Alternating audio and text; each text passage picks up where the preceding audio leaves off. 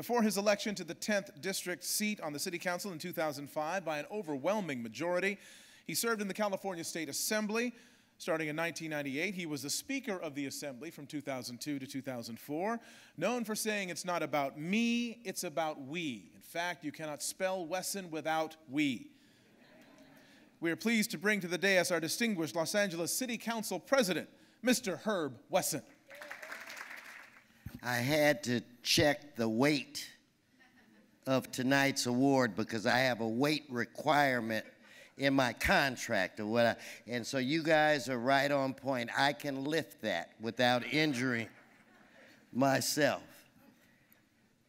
Let's give all tonight's honorees a round of applause because they, they, they truly, truly deserve it.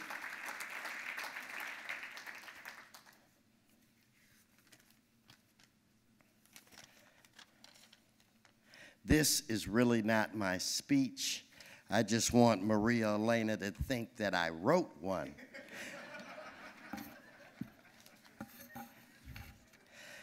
I get here and she says,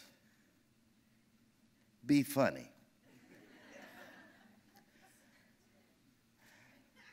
I considered trying to be funny, but I didn't see enough wine or alcohol being circulated. So I think we may want to take another approach. But I, I do want to say to each and every one of you that uh, uh, Maria Elena and I are planning a wedding. Yeah, I mean, is that not worth a round of applause?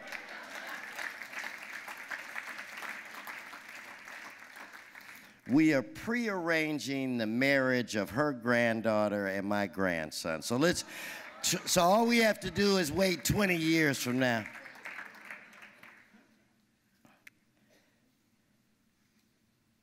Coming from a hardworking family, full of love, well educated,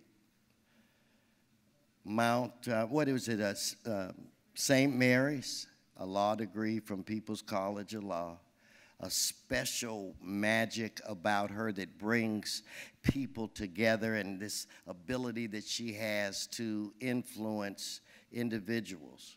She could easily be counting her millions of dollars that had she chose a different way, I guarantee you she would have made. But she chose a long time ago to change thousands of lives. For her, that was worth millions. And she did it the hard way. She joined a struggling labor movement uh, at the time. It was an organizer, worked herself up to become a head of one of the local unions, and then became the leader of arguably the most powerful labor organization in this country. People didn't know if she was going to succeed. She did not surprise me when she became phenomenal. And where people from all over this country would come to her and say how and why. I mean, she asked me to be funny. But she was never funny when she sat down for labor negotiation. She was never funny when she was sitting in a room of bigwigs that wanted to undercut the working people of this city and this county and this state. She wasn't funny then. And she wasn't funny when she decided to move on, to reunite with Unite Here so that she could touch the lives of individuals that truly need guidance. You talk about civic engagement. Civic engagement comes with civic education. And she has spent her entire life empowering individuals to understand how the system works and the things that they can do to try to get the things that she wants. If you are lucky and blessed in this life, you'll have a lot of friends. But if you are truly blessed, you might have a handful of people that you love. A person who has always been with me, and I'm not just here tonight because she has always endorsed me for anything that I've run for. I'm appreciative, but that's not why I'm here. I'm here because this is personal for me. She's one of the greatest human beings that I ever met in my life. In any of the headlines that you may have heard about her being this mean and tough, she knows how to motivate people and educate people. That's why she was so influential. Ladies and gentlemen, it is my honor to bring my dear friend, Maria Elena Durazo to the stage. Please give her a round of applause that she deserves. If you think about all of the lives that she has changed, I will always love you.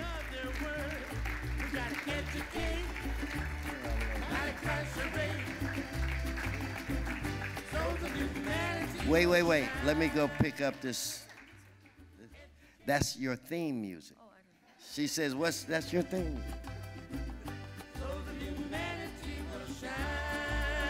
I would have chosen something else. Like too hot.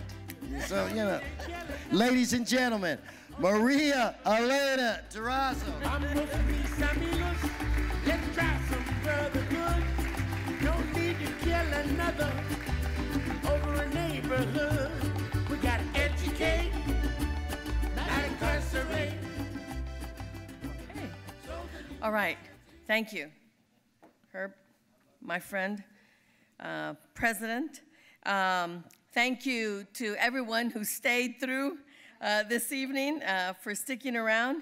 Uh, thank you uh, at the Institute for connecting the legacy of Governor Brown to us today in 2015. President Covino, uh, for your friendship and our new friendship. Uh, Rafael, uh, thank you so much as well. And uh, the other honorees and the Brown family. You know, I live a very privileged life because every day I get to work with remarkable people. Their jobs, cooking, cleaning, washing dishes, serving food, may seem quite ordinary, but their stories, their dreams, and their willpower are absolutely extraordinary. There are few experiences more powerful than watching an immigrant who walked across the desert to come here, walk door to door in a political campaign here, and then walk into her polling place to vote here. You know, when we started building uh, a movement uh, to empower immigrants in Los Angeles, we started with a very simple premise. The new immigrant voter had a deeper appreciation for civic obligation than those of us who were born here, and that they therefore represented the best hope for our future. It was in the early 1990s, and the clock was ticking, because it was soon going to be five years since President Reagan signed the amnesty law. And millions of immigrants would begin to qualify for naturalization.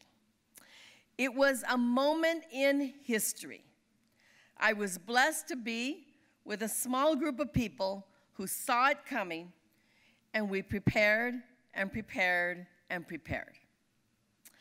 But none of our work would prove as impactful as the 1994 ballot box assault on immigrants, Proposition 187. Remember Kathleen.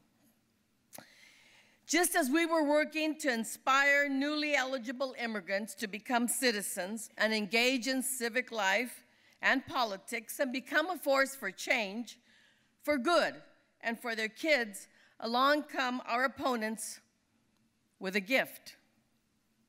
Proposition 187 was about the politics of fear and exclusion.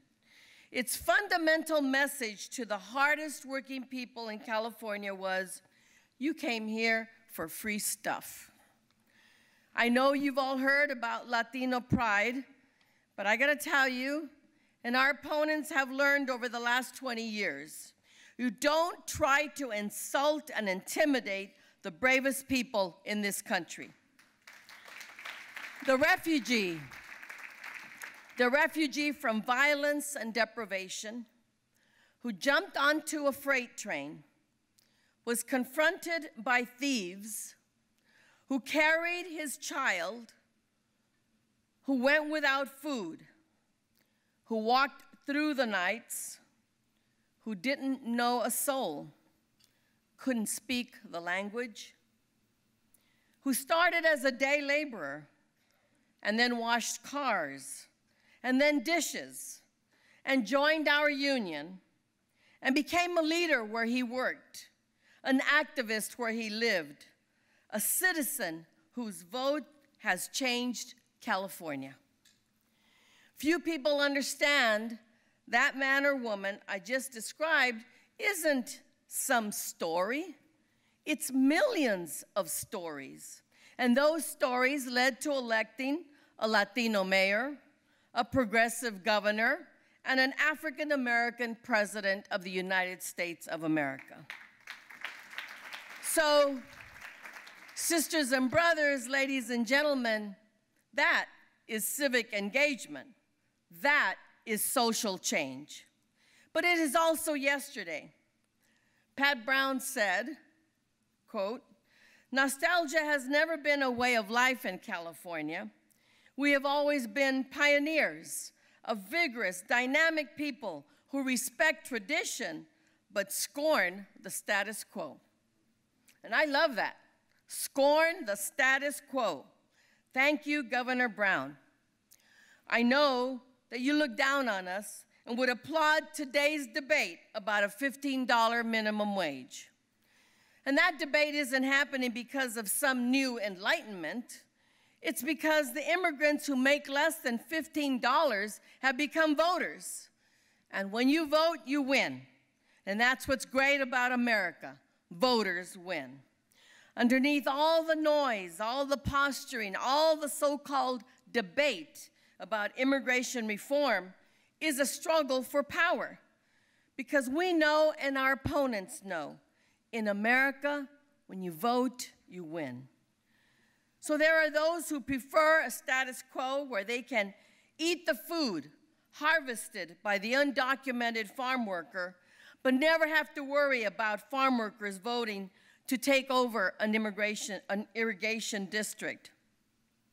They prefer to fly to Washington to lobby for their tax breaks, sleep in a hotel room that was cleaned by one of the 147,000 immigrant housekeepers, and eat a business lunch or dinner prepared by the 600,000 immigrant cooks, but never have to worry about those immigrants voting on their business, their tax breaks, their loopholes, or their offshore accounts.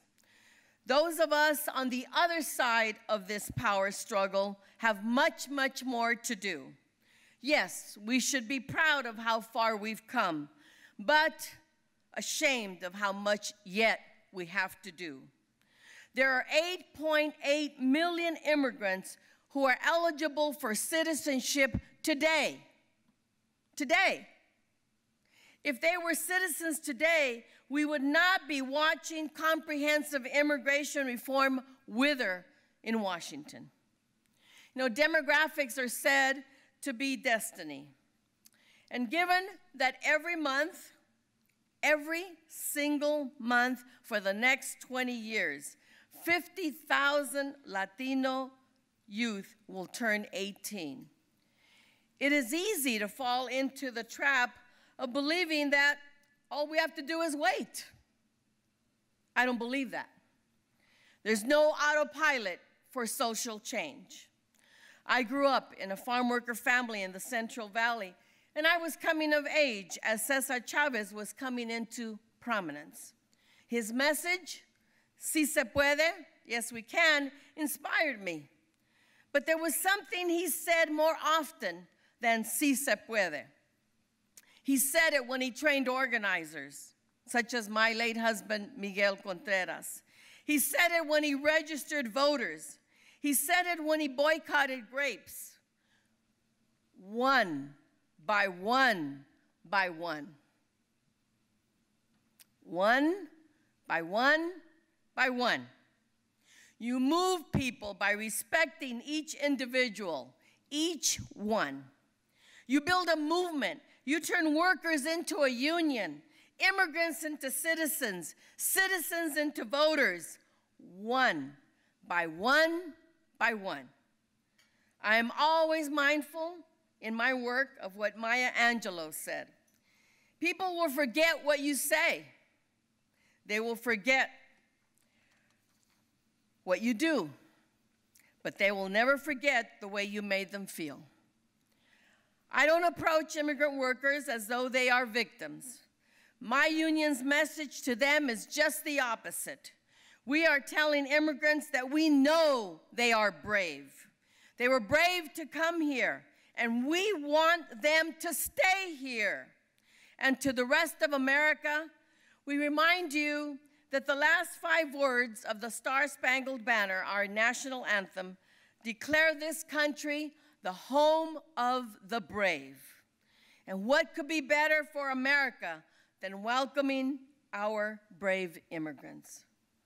There was no immigration movement in January of 1959, but had there been, Pat Brown's inaugural speech would have inspired us. He said, Men must indeed have freedom to breathe the air of self respect. Let us forge a program which will liberate our human resources. Si se puede, one by one by one. Thank you. I said, stand, shine the light on the young souls there. Let it shine, illuminate the beauty of world. We gotta educate, gotta incarcerate.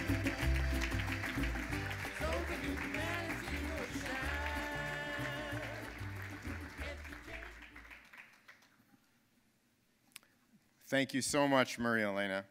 Um, on behalf of the Pat Brown Institute and Cal State LA, um, I would like to thank a lot of people tonight, especially our honorees and presenters. I don't know that I've ever heard a better group of people, more eloquent. Let's hear it for all the presenters and all the honorees. I feel as much as anything that we're honored by these honorees. Uh, I think it reflects well on, on all of us in this room. On behalf of the Brown family and our staff and sponsors and all the people who helped out tonight and all of you who came, we thank you for being here. We thank our good friend Mark Brown uh, for being our MC this evening. It is our opportunity now to say goodnight and drive safely, and I hope we will see you next year. Thank you very much.